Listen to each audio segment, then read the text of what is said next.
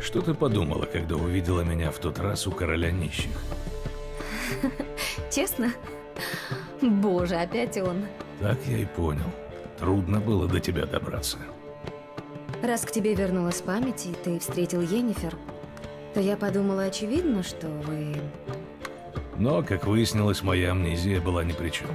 Я всегда хотел быть с тобой. Только с тобой. Теперь я это знаю.